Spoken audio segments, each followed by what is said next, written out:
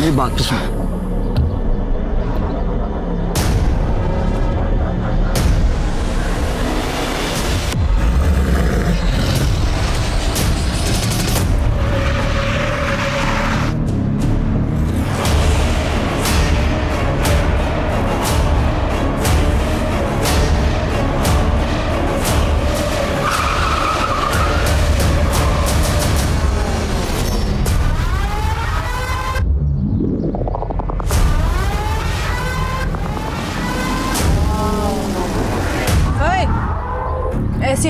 करने की सोचना भी मत वरना गाड़ी सीधे तेरे ऊपर चढ़ा दूँगी। चल निकल यहाँ से। ये हमारे दोनों के बीच का मामला है।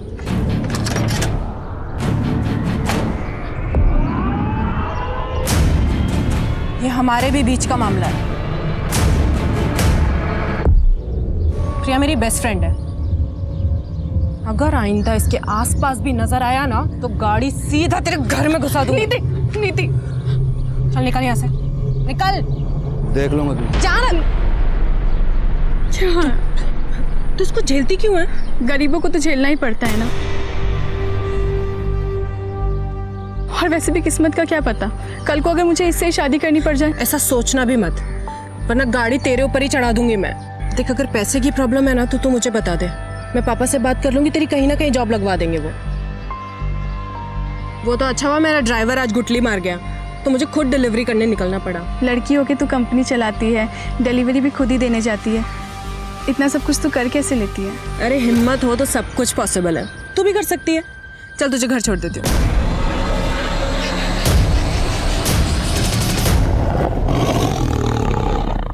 बहुत पुरानी कहावत है। गरीब पैदा होना आपकी गलती नहीं है लेकिन गरीब मरना आपकी विफलता है। नमस्कार मैं सोनाली कुलकर्णी।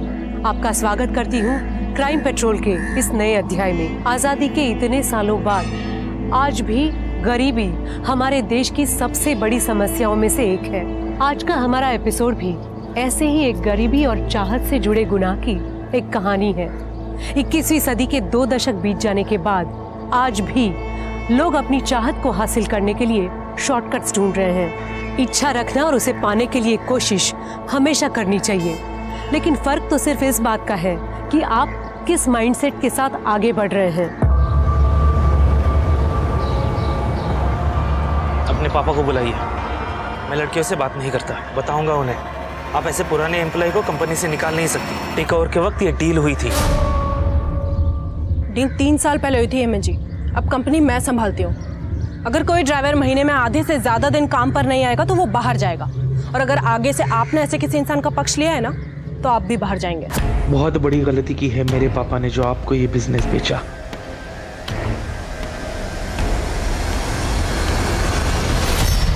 दीदी आपके झगड़े फिर से चालू हो गए। अरे तो क्या करो स्वाति? ऐसे लोग ऑफ़िस आकर लड़कियों को धमकाएँगे उनको परेशान करेंगे तो? ऐसे लोगों को ऐसे ही हैंडल करना पड़ता है। अरे दीदी तो पापा से बात करो ना। आप क्यों झगड़ा करते फिरते हो? नहीं नहीं पापा को पहले ही दस टेंशन है फैक्ट्री की। स्वाति मेरी बात सुन। पापा को कुछ भी नहीं बोलेगी ठीक है? अरे बोला था ना आराम से काम करो।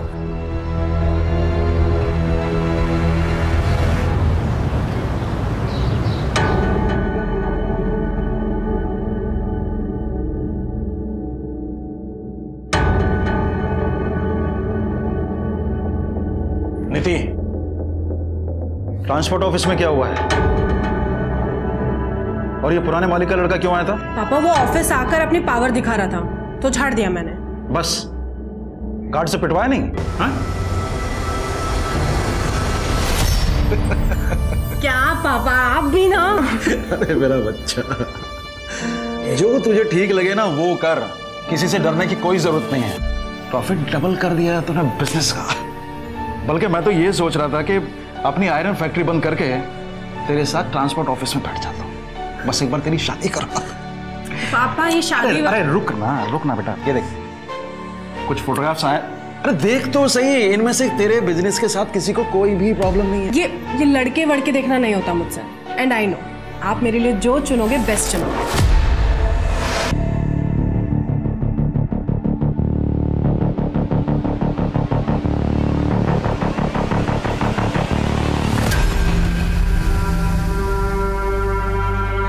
चलती है ना तू मुझसे? मेरे काम से? इसलिए बार बार मेरे काम में टांग अड़ाती है? जलन नहीं। चिंता है आपकी। ठीक है? करो जो आपके मन में है लड़ो लोगों के साथ। कोई कुछ कर देगा किसी दिन तो। अपना मेकअप का कोर्स करने मुंबई जा और आइंदा मुझसे बात मत करना।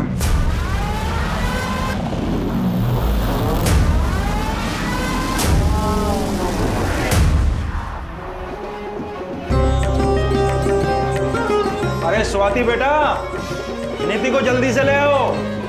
शादी का मुहूर्त हो रहा है।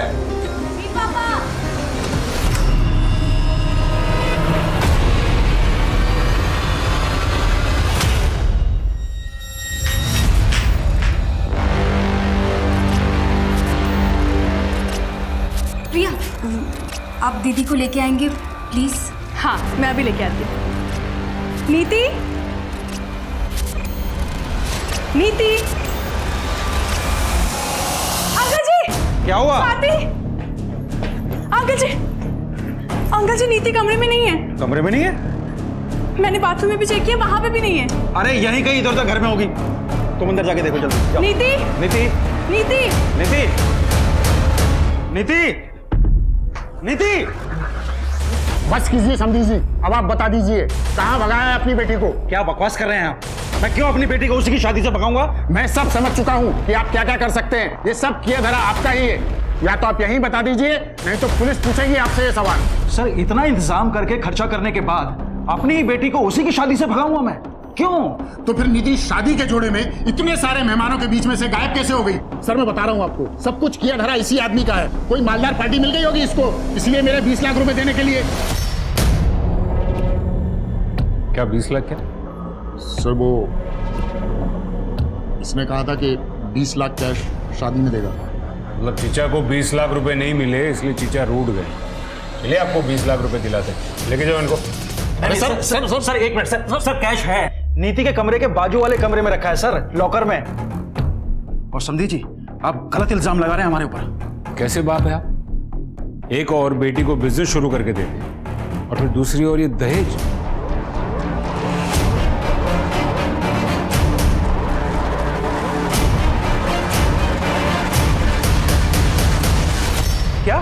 लॉकर खुला है।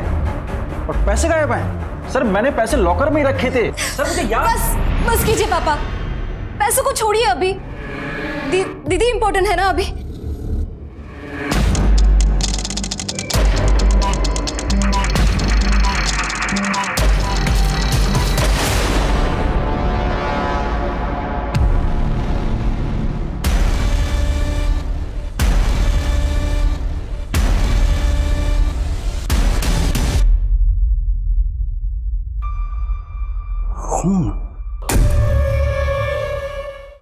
देखिए नीति बिज़नेस करती है।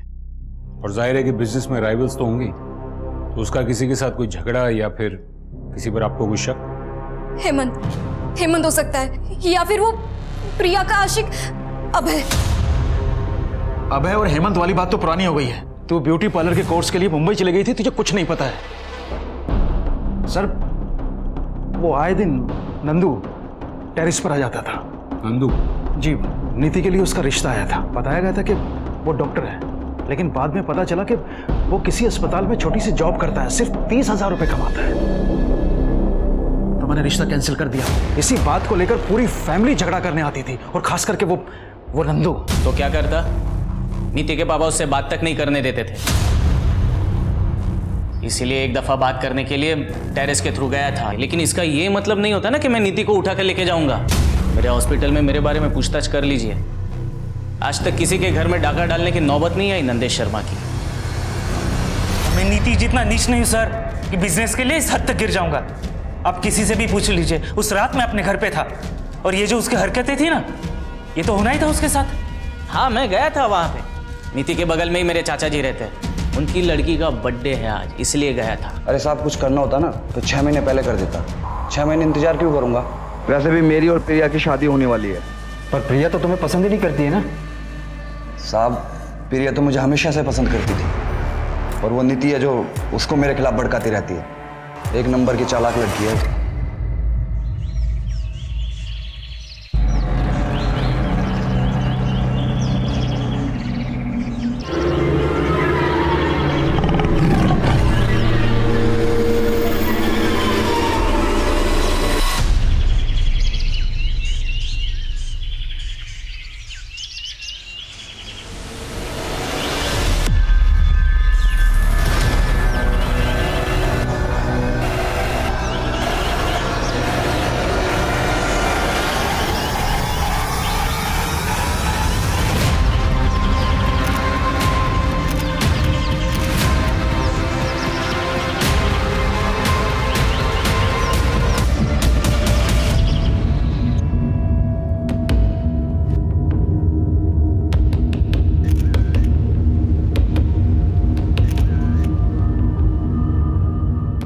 इसकी शादी होने जा रही थी।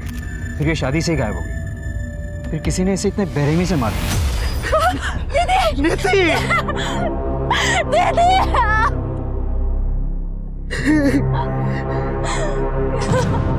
किसने किया? गहने कहाँ गए? सब चौदह पंद्रह लाख से ऊपर के गहने थे।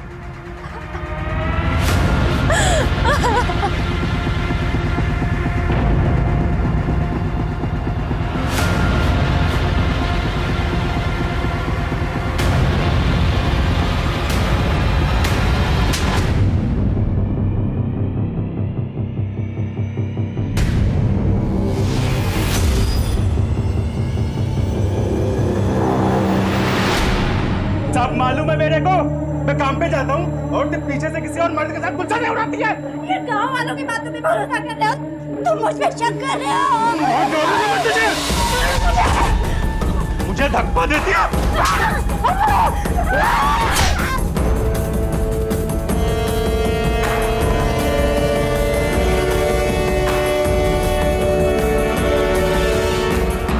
वो आशिक वो आशिक तेरी माँ को मार के भाग गया। सुन जब हम बाहर थे वो खिड़की के रास्ते से घर में घुसा कुल्हाड़ी से तेरी माँ को मारा और भाग गया। यही बोलेगा तू। तू टेंशन मत ले। मैं सब ठीक कर दूँगा। ठीक है?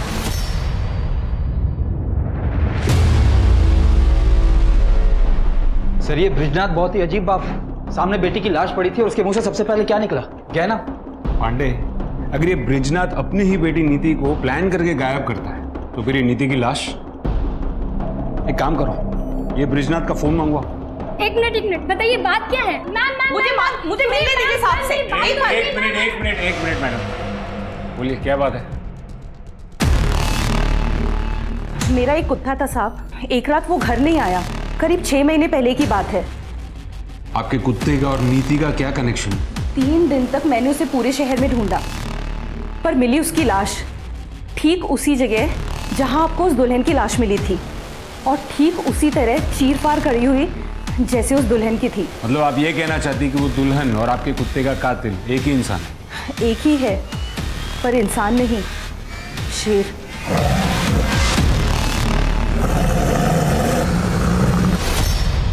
मैडम इस जंगल में सियार तक नहीं है। शेर? मुझे मालूम था आप लोग ऐसे नहीं मानेंगे। इसीलिए एक मिनट।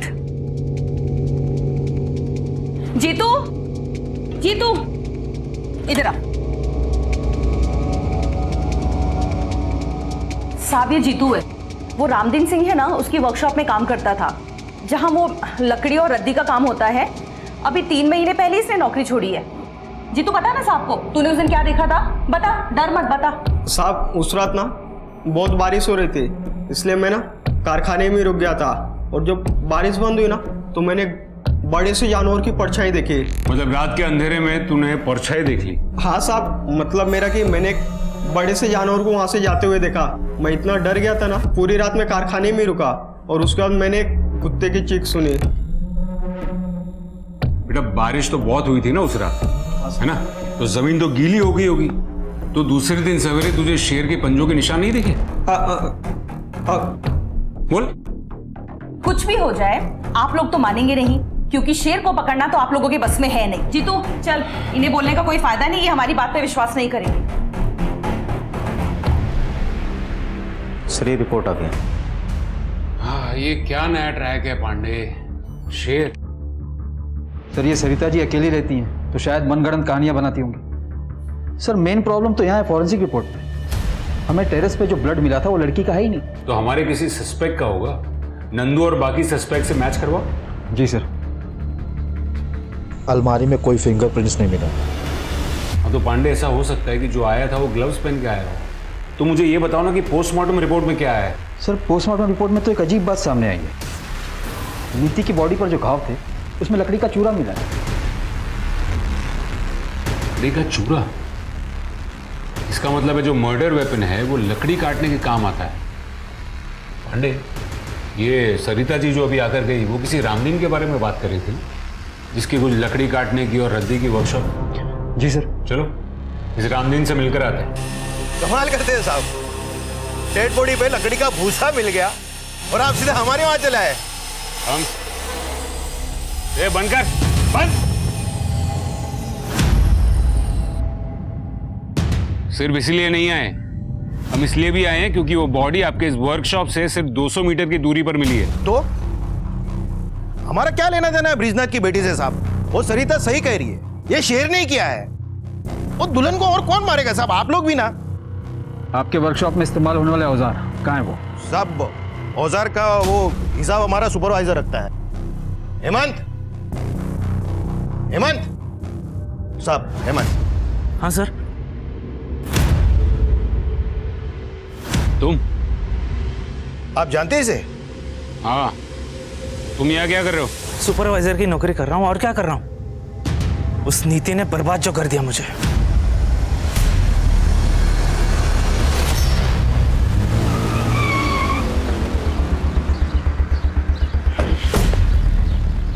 पांडे ये हेमंत जितना सीधा दिखता है उतना सीधा लगता नहीं पर सर हमने पता तो किया था। हेमंत के कॉल रिकॉर्ड के हिसाब से उस रात वो अपने घर पर ही था। और तो और आईपी भी चेक किया उसने वो उस वक्त ऑनलाइन कुछ वीडियोस देख रहा था। सर वैसे कॉल रिकॉर्ड से एक बात याद है क्या? जब मैं कॉल रिकॉर्ड चेक कर रहा था तो उसमें से मुझे एक सर! सर मेरी बहन नीति के कातिल का कुछ पता चला क्या? ऐसे कैसे कोई घर में घुसकर दीदी को गायब कर सकता है। आप तसली रखिए हम इन्वेस्टिगेशन कर रहे हैं। ऐसे कैसे तसली रखूँ? छोटा सा झगड़ा क्या हो गया? दीदी ने मुझसे बात ही करनी बंद कर दी थी। इसलिए मुझे कुछ पता ही नहीं चला कि यहाँ पे क्या हो रहा है। आप प्लीज़ हमें बताइए कि पिछले एक डेढ़ महीने से नीति का फ़ोन इनएक्टिव क्यों था? इनएक्टिव सर ऐसे कैसे हो सकता है? दीदी को तो बहुत सारे कॉल आते थे ऑफ़िस के काम से। हमने उनके ऑफ़िस में भी पता किया। वो उस दौरान ऑफ़िस जाती ही नहीं थी। सर दीदी बीमारी तक में ऑफ़िस मिस नहीं करती थी। सर सर ये कॉल रिकॉर्ड आपको देखनी चाहिए। उस दिन अगर तुम अपना बर्थडे घर पर मना रहे थे तो तुम्हारे फ़ोन की लोकेशन जंगल में क्यों दिखा रही थी क्या सर सिर्फ़ उसी दिन का चेक किए? कुछ दिन पहले का चेक करते तो हर दिन का लोकेशन आपको वही मिलता। रनिंग करने जाता हूँ डेली। पिछले दो सालों में पाँच मैराथन भाग चुका हूँ मैं।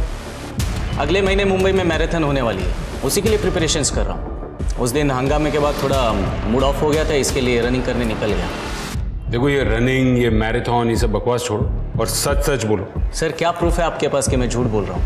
अरे साहब से मिलना है। मिलना है यार। अरे रुको। साहब इस शहर में शेर घूम रहा है। हमें खबर मिली है। आप क्या कर रहे हैं साहब? क्या आप इंतज़ार कर रहे हैं? कि हमें और हमारे बच्चे को खा जाए साहब। देखिए ये एक अफवाह है। जंगल में कोई शेर नहीं है। लेकिन सरिता जी अपने लोकल न्यूज़ चैनल पे बता रही है साहब कि शेर है।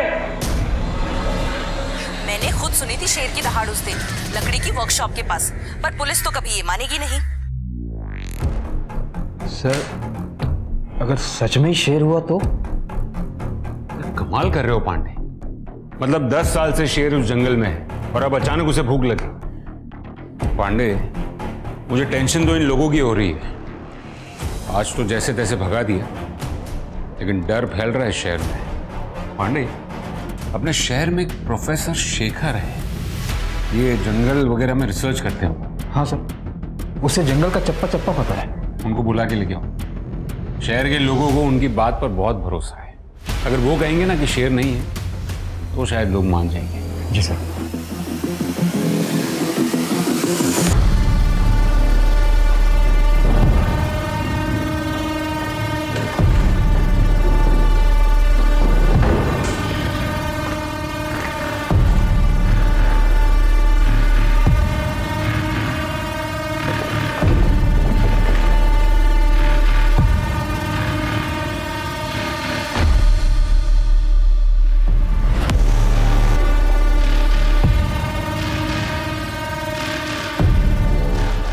मेहनत से बिज़नेस सेटल किया है। घर के काम नहीं कर पाऊँगी ऑफ़िस जाना पड़ता है रोज। घर के काम के लिए तो काम वाली बाई आ जाएगी। बिज़नेस आपका पैशन है वो ज़्यादा इंपॉर्टेंट है। ये सब बातें आप सिर्फ़ मुझे इम्प्रेस करने के लिए तो नहीं कह रहे वो जानने के लिए तो आपको शादी करनी पड़ेगी।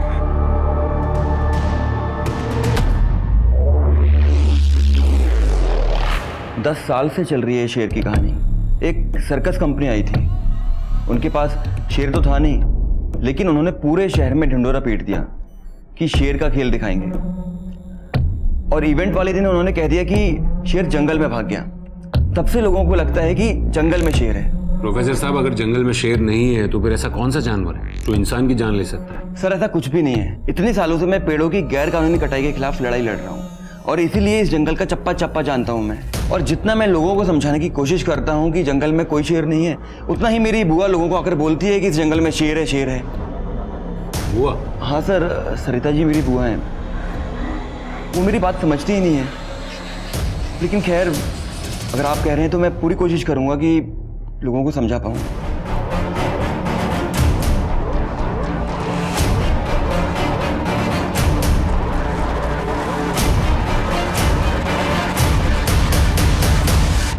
सर सर, ये ब्रिजनाथ सीधा आदमी नहीं, ये तो लगा था। पर इतना घटिया आदमी होगा, ये नहीं सोचा था। ये देखिए उसके फ़ोन से क्या मिला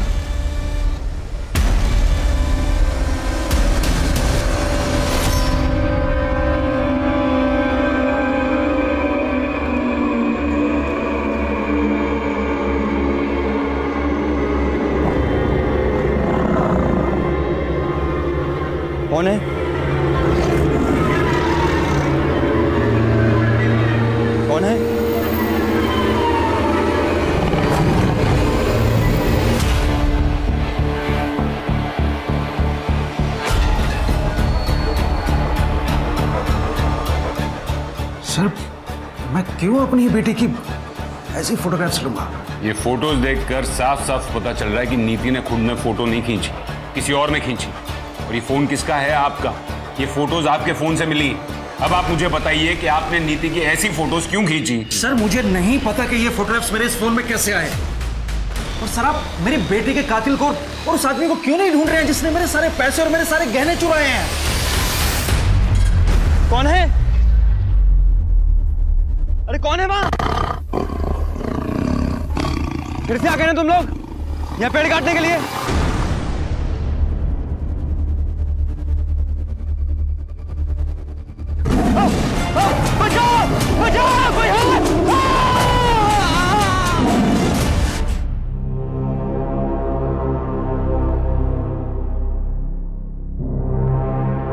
है? क्या देख रही है?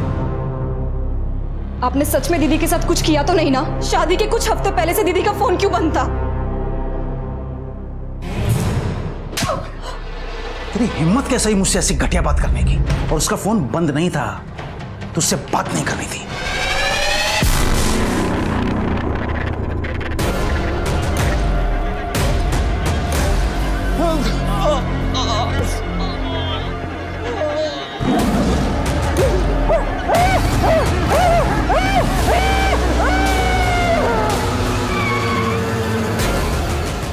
पांडे ये ब्रिजनाथ के बारे में ए टू जेड सब पता करो। पूरी कुंडली निकालो उसकी। जी सर।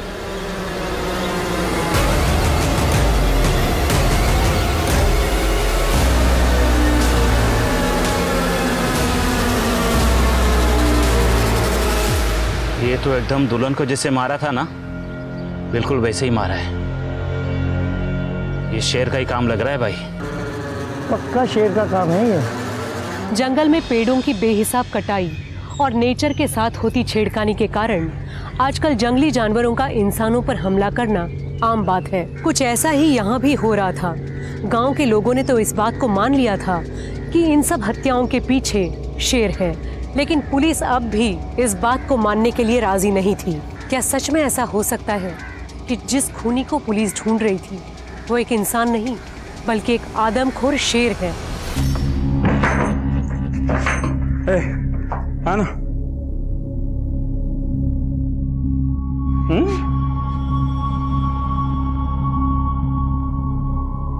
ए, बोला था ना सब ठीक कर दूँगा मैं। एक बार फिर से अपना घर बस रहा है? ये तेरे माँ जैसी नहीं है। बहुत ख्याल रखेगी तेरा है? चल जा बाहर खेल। और दरवाज़ा बंद कर लेना हाँ हाँ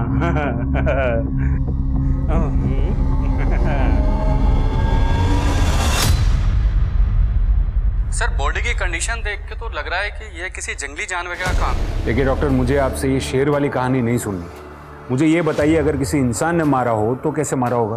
तो सर उसके लिए दो हथियारों का इस्तेमाल एक ही साथ हुआ है। एक कुछ हथौड़ी जैसा और दूसरा धारदार औज़ार। ठीक है। सर, दुल्हन की बॉडी पर से जेवर गायब थे।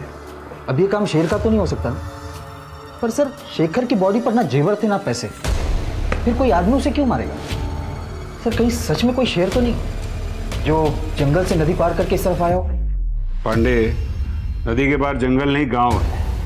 और फोकस शेर पे नहीं, इस पे करो।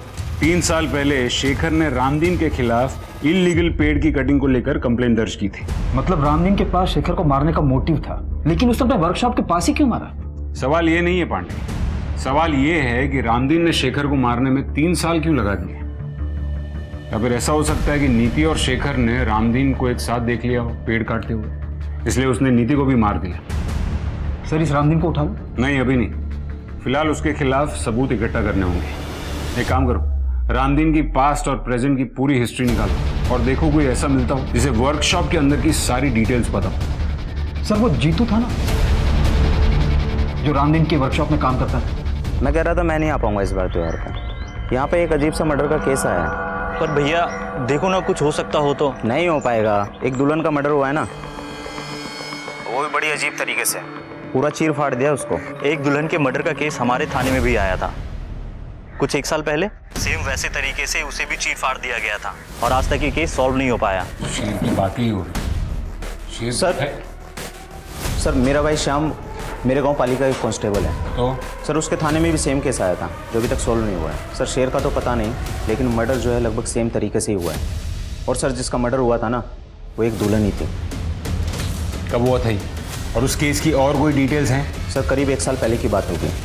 लेकिन सर दुल्हन की आइडेंटिटी अभी क्लियर नहीं हुई है। ठीक है वहाँ के ऑफिसर से बात करवाओ। जी सर। साहब वो ब्रिज जी के यहाँ पे ज़्यादा पैसे मिल रहे थे मुझे इसलिए मैं वर्कशॉप पे नौकरी छोड़ दी थी। और वहाँ पे शेर का भी तो खतरा था ना साहब। मेरे सामने शेर की बात मत करना समझा? अच्छा मुझे बता कि तेरे वर्कशॉप पे कोई अक्सर रामदीन को मिलने आता था क्या? हाँ हफ़्ते में एक दिन उनसे कोई तो मिलने आता था। उस दिन सबके जाने के बाद साहब वर्कशॉप में अकेले रुकते थे। साहब उस दिन मैं अपना झोला भूल गया था इसलिए वापस लेने गया था। ए, क्या कर रहे तू इधर? मेरी छुट्टी हो गई ना? साहब मेरा झोला भूल गया था मैं यहाँ पे। हो गया ना? चल निकल। हाँ गया वो। आ जाओ। कौन था वो? साहब मैं ज़्यादा कुछ नहीं देख पाया था। रामदीन जी ने मुझे भगा दिया था वहाँ से। सर एक मिनट। सर सर ब्रिजनाथ के मोबाइल में जो फ़ोटो मिले थे उन्हें इनलार्ज करवाया। सर ये फ़ोटो में देखिए किसी का रिफ्लेक्शन दिख रहा है। नीति की फ़ोटो खींचते हुए। ये।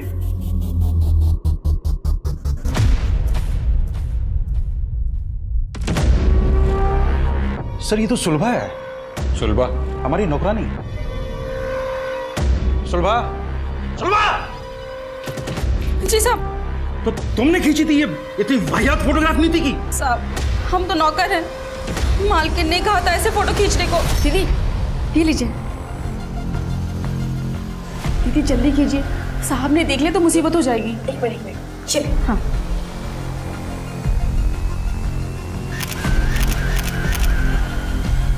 पर दीदी के पास खुद का अपना फ़ोन था। तो पापा के फ़ोन से क्यों खिंचवाएँगी? मालिक ने डेढ़ महीने पहले फ़ोन छीन लिया था। छीन लिया था? ये घर में क्या चल रहा था पापा? कुछ नहीं चल रहा था। मैं आपकी थोड़ी मदद कर देता हूँ। यहाँ आने से पहले हमने आपके सारे अकाउंट्स चेक किए। पिछले कुछ महीनों में क्रेडिट कार्ड से काफ़ी शॉपिंग की है आपने। फ्रिज टीवी वॉशिंग मशीन अरे पर किसके लिए? घर में ऐसा कुछ नया तो आया नहीं है? आपके घर के लिए नहीं। इन सारी चीज़ों की डिलीवरी प्रिया के घर पे हुई थी। प्रिया नीति की दोस्त। अब आप कुछ बताएँगे या फिर बाकी की कहानी मैं प्रिया से पूछ लूँ? क्या करती सर? घर में खाने तक को पैसे नहीं थे। और फिर ब्रिज जी मुझे मिले। नीति ने मुझे बताया तुम्हारे बारे में। मैं मदद कर सकता हूँ तुम्हारी। लेकिन बदले में तुम्हें भी तो कुछ करना पड़ेगा।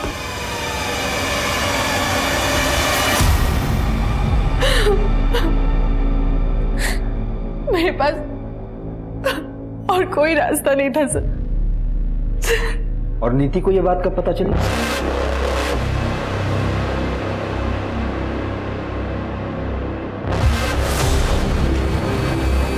पापा?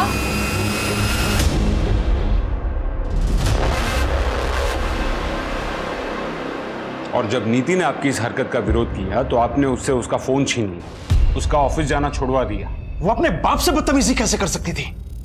और बच्चों को संस्कार सिखाने के लिए ना ऐसे कदम उठाने पड़ते हैं। संस्कार नहीं डर। इस बात का डर कि कहीं आपकी काली करतूत जमाने के सामने ना आ जाए।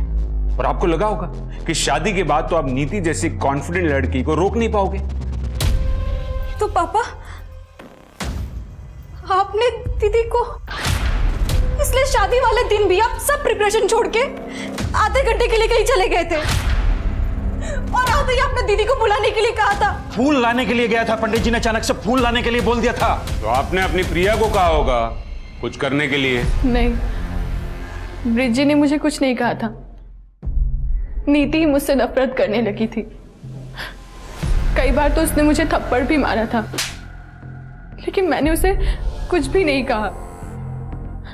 और कहती थी किस मुँह से मुझसे ये सब कुछ और झेला नहीं जा रहा था। इसलिए मैंने अभय से शादी करने के लिए हाँ कह दिया।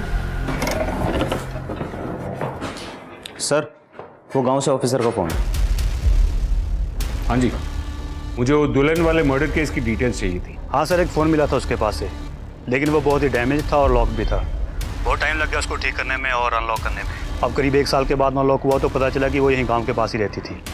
दुल्हन की फैमिली का कहना था कि उस लड़की का किसी के साथ चक्कर चल रहा था लेकिन किसके साथ वो हमें पता नहीं। थैंक यू वेरी मच और कोई डिटेल्स मिले तो हमारे साथ शेयर कीजिएगा ओके सर मेरा पूरा परिवार बिखर गया।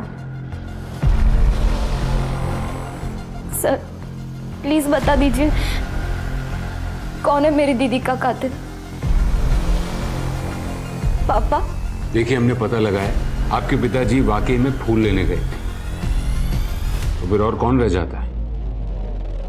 नीति का बॉयफ्रेंड बॉयफ्रेंड नहीं सर ये हो ही नहीं सकता। दीदी का फोकस सिर्फ़ बिज़नेस पे ही था। और दीदी तो ये शादी से भी बहुत खुश थी। तो फिर एक जवान लड़की ऐसे फ़ोटोज़ किसके लिए क्लिक करेगी? हमने फ़ोन भी चेक किया हमें कोई नंबर नहीं मिला। शायद वो इंटरनेट कॉलिंग से बात किया करती थी। और इस केस में ये पॉसिबल है कि घर से चोरी नीति ने या फिर नीति और उसके बॉयफ्रेंड ने मिलकर की थी। पैसे दीदी ने नहीं चुराए थे। मैंने चुराए थे। मुझे अपना ब्यूटी पार्लर खोलने के लिए पैसे चाहिए थे। और पापा को मुझ पे भरोसा ही नहीं था। और दीदी मुझसे बात ही नहीं कर रही थी।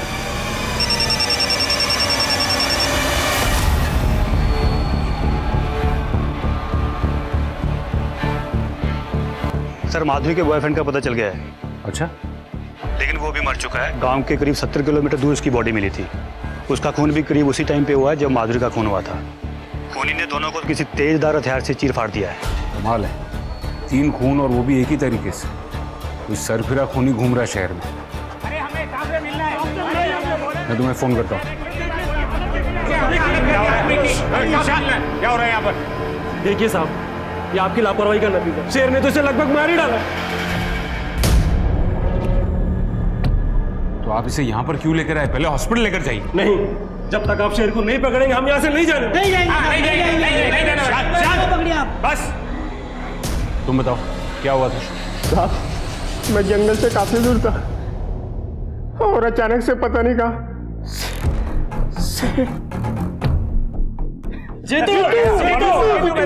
देखिए आप लोग विश्वास रखिए हम आज के आज ही जंगल विभाग से बात करेंगे लेकिन आप प्लीज़ इसे पहले हॉस्पिटल लेकर जाइए पांडे जी साहब दो चार लोग गाँव के मरेंगे नहीं ना जब तक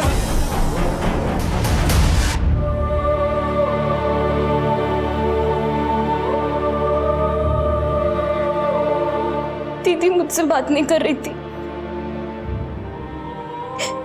तो मैंने क्यों कोशिश नहीं की उनसे बात करने की? दीदी इतनी मुसीबत में थी। उनको मेरे साथ की ज़रूरत थी और मैं मैं, मैं इतनी सेल्फिश हूँ कि सिर्फ़ अपने सपनों के पीछे दौड़ती रही। अगर मैं दीदी के साथ होती तो आज दीदी मेरे साथ मेरे रहते हुए घर मर्द को देखती तू? छोड़ मुझे तू खरीद के लाया है मुझे। सबको बता दूँगी कि तूने अपनी पहली बीवी को कैसे मारा है। पूरी दुनिया को बता दिया चार दिन हुए नहीं। इतना लगा हो गया? मैं तेरा बाप दिन रात कोशिश करता हूँ सब कुछ ठीक हो जाए। और तू उसकी मदद कर रहा है?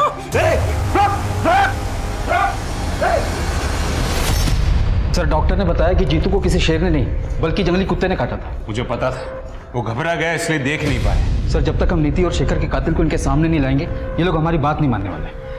सर वो रामदीन के बारे में पता करने के लिए बोला था ना सर आप? सर पता लगा कि वो भी मेरे गाँव पाली से है। एक बात और सर। सर वो दुल्हन का जो मर्डर हुआ था उस केस की इन्वेस्टिगेशन से एक बात साफ़ ज़ाहिर होती है। छह साल पहले भी सेम तरह से मर्डर हुआ था सर वहाँ पर। किसका? वो भी एक दुल्हन थी क्या? नहीं सर वो एक आदमी था। इनफैक्ट जिसका मर्डर हुआ था वो खुद एक खूनी था। मतलब छह साल पहले उस आदमी का खून उसी तरह हुआ था जिस तरह नीति और शेखर का हुआ है। मतलब एक सिरफिरा कातिल छह साल से घूम रहा है। न जाने उसने कितने कत्ल किए होंगे सर। सर रामदीन? हो सकता है। अच्छा जो मरे हैं उनकी फैमिली में और कौन कौन है? एक बेटा है सर उस बेटे को ढूंढो। शायद उस बेटे ने उस खूनी को देखा हो। Hello police station gold coin jewellers कहाँ से बोल रहा हूँ? हाँ जी बोलिए। आपने जो चोरी की हुई ज्वेलरी की फ़ोटोज़ हमें भेजी थी उसमें से कोई एक मेरे यहाँ पे बेचने के लिए आया हुआ है? कस्टमर को मैंने बातों में लगा रखा है। अंदर बैठी हुई है। आप लोग थोड़ा जल्दी आइए। वैसे भी बच्ची है। वो नेकलेस मेरा नहीं है। वो नंदू भैया का है। नंदू भैया ने एक डब्बे में छुपा के रखा था। मैंने निकाल लिया। मुझे लगा कि मेरा बर्थडे का गिफ्ट है। मैंने कुछ नहीं किया सर। मैंने कुछ नहीं किया। सर सर सर क्यों क्यों क्यों सुनो सुनो सर सर बहुत घुमा लिया पुलिस को। अब मुँह खोल और सच बता। कैसे भगाया नीति को? कैसे उठाया? बोल! बत, बता बताता हूँ सर। सर सर, मैंने नीति को नहीं उठाया, सर। वो खुद आई थी मेरे पास। हम दोनों एक दूसरे से बहुत प्यार करते थे, सर।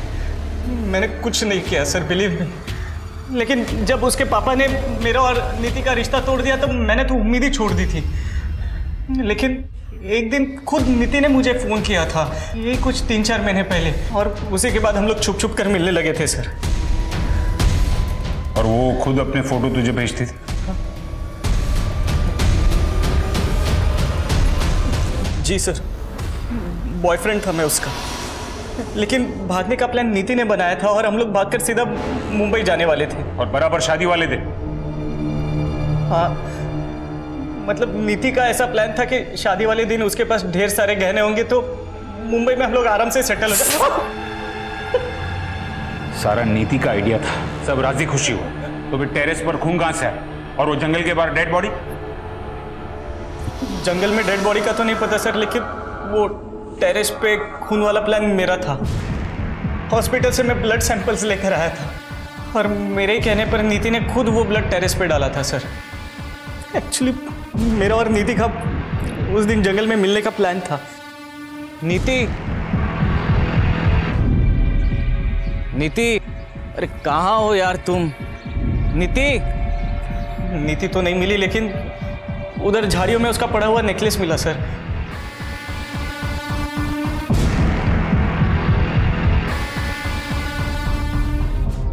मेरा विश्वास कीजिए सर उस दिन जंगल में क्या हुआ मुझे कुछ नहीं पता सर। उस दिन जंगल के आसपास तू अकेला ही था और कोई नहीं था। तुमने ज़रूर किसी को देखा होगा। नहीं सर मैं अकेला नहीं था मतलब और भी कोई था वहाँ पर। दूर से उसकी शक्ल देख तो नहीं पाया लेकिन हाँ वो लंगड़ा कर चल रहा था। शायद उसके पैर में कोई तकलीफ़ थी। और वो रामदीन की वर्कशॉप की ओर जा रहा था सर।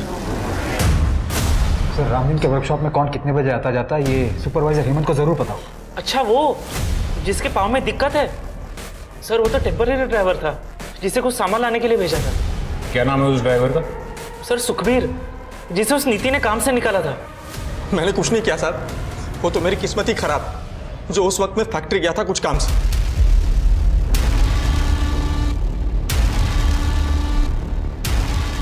ये ब्रेसलेट तुम्हारा है? हाँ साहब नया लिया? हाँ साहब पुराना कहाँ? है पुराना? मैं दिखाता हूँ। ये तुम्हारा ही है ना?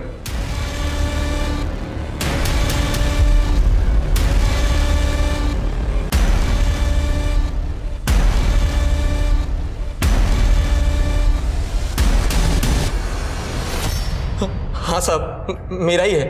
वो पुराना ढीला हो गया था ना तो गिर गया होगा शायद। अच्छा और वो भी वहीं पर गिरा जहाँ पर नीति की लाश मिली थी। भगवान की कसम साहब उस वक्त कोई बॉडी बॉडी नहीं थी वहाँ पे। हम गरीब छोटे लोग हैं ना साहब इसलिए सब हमें ही परेशान करते। वहाँ बड़े लोग क्या नहीं करते कोई कुछ नहीं बोलता उनको। वो रामदीन सिंह। हाँ गया वो। आ जाओ। वो औरत उसको देखा मैंने उसके साथ। वो शेर शेर करते फिरती है ना शहर में वही औरत। सरिता? हाँ हाँ वही सरिता।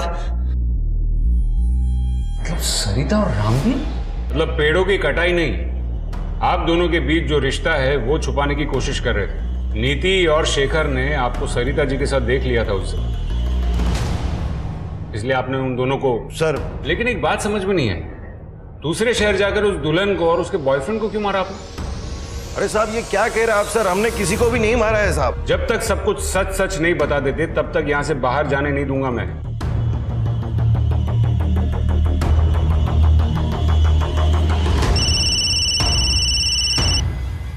हाँ गुप्ता बोलो। सर उस बच्चे का पता किया है हमने यहाँ से। सर उसके हिसाब से वो बच्चा करीबन एक साल पहले इसी कंस्ट्रक्शन साइट पे काम कर रहा था लेकिन अभी वो यहाँ काम नहीं कर रहा है। लेकिन सर एक बात और पता चली है वो दुल्हन माधुरी जिसका मर्डर हुआ था वो यहीं आसपास किसी स्कूल में काम करती थी। और सर उस बच्चे का घर भी इसी स्कूल के आसपास ही है। तो क्या इस माधुरी का उस बच्चे के साथ कोई कनेक्शन या फिर उसके बाप के साथ कोई कनेक्शन सर इतना तो नहीं पता पर यहाँ पे एक गार्ड है उसने बताया कि वो उस बच्चे को जानता था जब वो बच्चा यहाँ काम किया करता था। गुप्ता मैं एक काम करता हूँ। यहाँ डिस्ट्रिक्ट से एक स्केच आर्टिस्ट भिजवा रहा हूँ। उसका स्केच निकलवाओ। राइट सर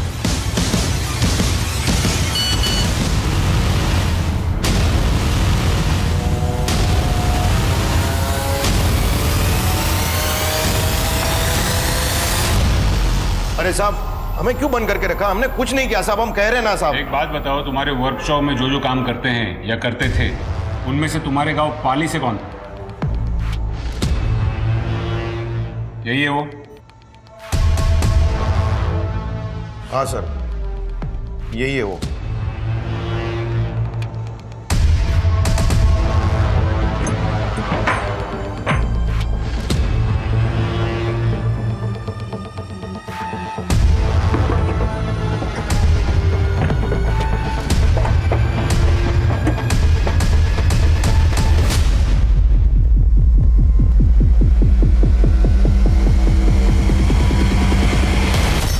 लोगो इस गाँव में कई जगह देखने को मिलेगा।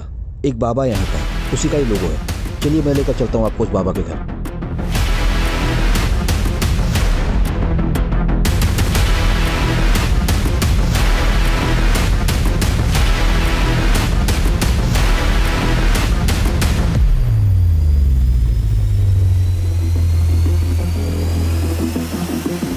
तुझे रामदीन ने इसीलिए काम पे रखा था ना, क्योंकि तू उसके गाँव से है। रखा था। तो साहब? और तुझे नौकरी सिर्फ़ इसीलिए करनी थी ना कि एक अच्छी सी लड़की से शादी करनी थी? साहब शादी करके घर तो बसाने हैं ना हमें भी। वाह ये कमाल है। लोग शादी करने के लिए मैरिज ब्यूरो में नाम लिखवाते हैं पेपर में ऐड देते हैं। और तू तू मर्डर करता है। क्या साहब ये क्या बोल रहे हो आप? ये मैं नहीं बोल रहा हूँ तेरा वो जंगल वाला बाबा बोल रहा है।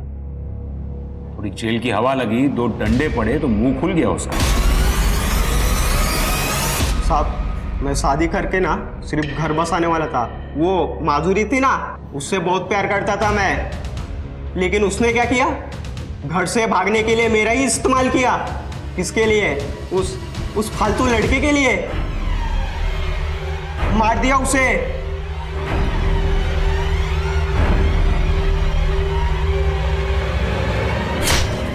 उसके बाद उसके यार को भी हाँ मैं घर से जल्दी निकलकर जंगल में तुम्हारा वेट करूँगी।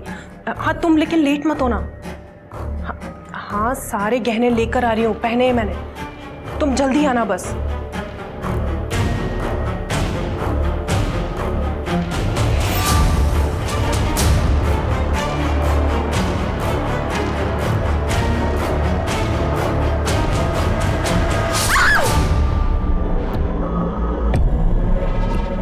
नीति ने क्या किया था? उसको क्यों मारा?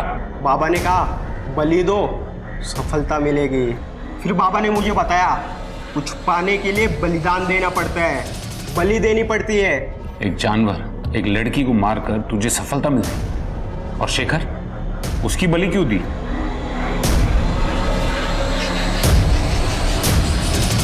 आओ आ रहा वो शेखर अगर उस दिन बीच में ना आया होता ना तो हमारी प्रक्रिया पूरी हो जाती। है बे कौन है बे और ये यहाँ क्या कर रहे हैं?